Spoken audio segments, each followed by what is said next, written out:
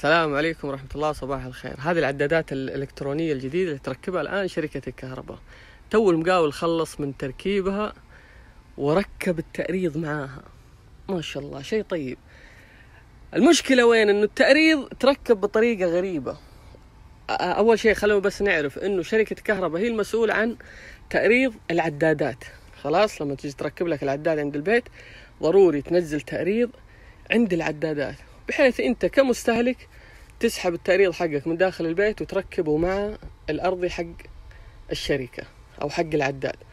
طيب العداد وين الأرض وين يركب في العداد؟ يركب مع ال neutral. هذا ال neutral وهذا الأرضي بحيث أنت تيجي كمستهلك تشبك تأريضك فين؟ معاهم. تصير ثلاثة أسلاك هنا اللي هو ال neutral وأرضي الشركة والأرضي اللي جاي عندك جاي من البيت عندك.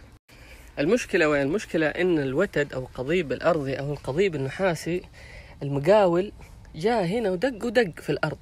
يعني الآن لو سحبنا زي كذا شوفوا يطلع معنا.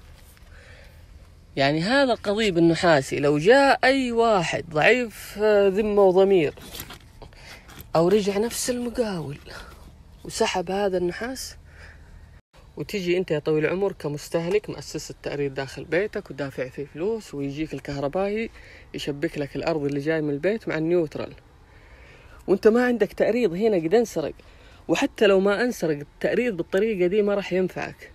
غير كذا شركة الكهرباء تجيك تشتكي من الناس اللي يسرقون القضيب النحاسي. طب انت بالطريقة دي تقول له تعال اسرق.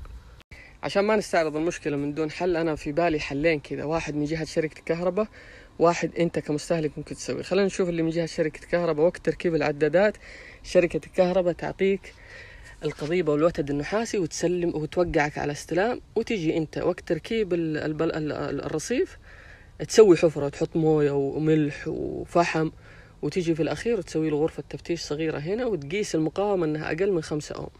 لكن ما أتوقع شركة الكهرباء تسوي زي كذا عشان كذا ننتقل للحل الثاني اللي هو أنت تكون مع المقاول وقت تركيب هذه العدادات. وتيجي تجيب عمال معك أو تعطي المقاول مبلغ إضافي وتخليهم يسووا لك حفرة محترمة هنا نص متر في نص متر ويحطون فيها موية وملح عارفين شغلهم هم لكن طريقة الدق هذا غير مجدية أبدا. فبعد ما يخلص ويرصوا لك الأرض تسوي غرفة تفتيش 30 في 30 هنا وتحط فيها غطا وانتهينا.